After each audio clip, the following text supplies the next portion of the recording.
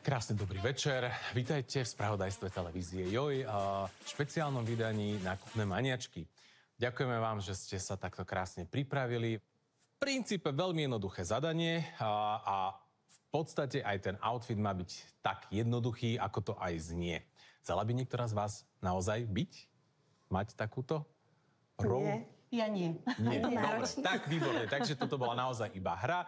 Zahrali sme sa a teraz si poďme povedať, a, ako sa vám to podarilo v rámci tohto zadania. Dianka, ty si zvolila, áno, to najvhodnejšie, čo sa do spravodajstva hodí. Čiže sú to šaty, ktoré majú absolútne čisté, jasné línie, a v podstate ti iba obkresľujú ako keby a, postavu, veľmi pekne, s vlasmi to hrá, není nič tam. Samozrejme, tie tetovania v televízii by si si nemohla dovoliť, tam by sa a, museli a, rozhodne prekrývať. Jediná chybička krásy, inak takto to má vyzerať proste. Jednoduché, čitateľné, jasné, kultivované, bez zbytočných obkecov. Takto to má vyzerať. Ešte aj absolútne vhodne zvolené lodičky, ktoré ti vlastne tú nohu iba takto nejako predlžia. V tomto kľudne by si sa mohla aj postaviť od toho stola a ja neviem, predpoveď počasia si struhnúť, alebo niečo možno také akčnejšie pri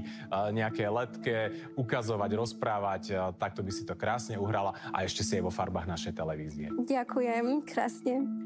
Tie šaty sú veľmi lichotivé, ženské a zároveň sú vulgárne práve preto, že majú dlhé tie rukávy. Ten výstih tiež je taký kultivovaný e, tými hranatými líniami, takže nesmierne vhodne e, zvolené šaty. A tak ako zvykneme e, po iné týždne kritizovať, že dievča má iba šaty a topánky a že čo to je za outfit, tak teraz práve tá jednoduchosť je vítaná a toto je pekná ukážka, že aj jedny šaty vedia na vhodnú tému zažiariť. Ďakujem pekne, veľmi si to vážim a som veľmi rada, že sa vám to páčilo. Máme tu Elišku. Uh, toto je pre mňa outfit jednej kultivovanej španielskej rosničky, ktorá ide povedať, že na tabakových plantážach bude teraz strašne veľa pršať. Musím povedať, že ten doplnok v podobe opasku je tam nesmierne kultivovane zvolený. Toto proste pre mňa je outfit mladej členky kráľovskej rodiny, ktorá je krásna, jednoducho oblečená a ide robiť nejakú charitatívnu činnosť. Vieš, že naozaj taký ako veľmi pekný žensko-dievčenský mladistvý outfit. Je to veľmi kultivované, pekné a není mi tam toho málo, napriek tomu, že ten outfit sa z veľmi mála skladá.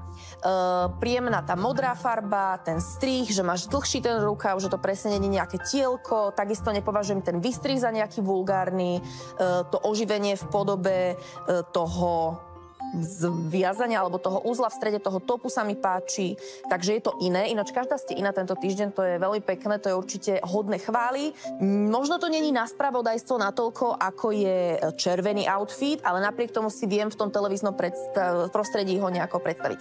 Áno, nie je to úplne do spravodajstva, je to príliš jednoduché, ale presne to počasie, tie ranné noviny alebo nejakú reportáž uh, úplne kľudne uh, si viem predstaviť. Ja som veľmi spokojná s tým, čo stylisti povedali a úplne s nimi súhlasím, úplne. Ak by si ešte uvažovala o zmene povolania, tak uh, dávame ti tip, kde by si sa Super. možno uplatnila.